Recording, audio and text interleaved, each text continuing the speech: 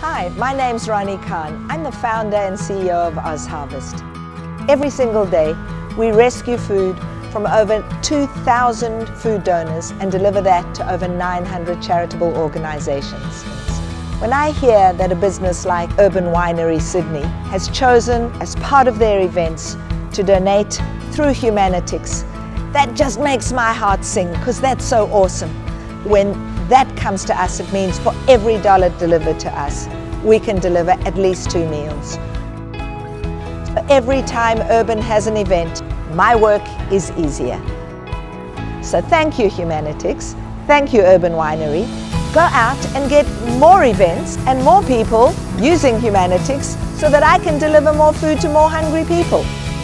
Because if you have a choice between your booking fees going to some company or going to the charity of your choice, I know where I'd rather my booking fees went.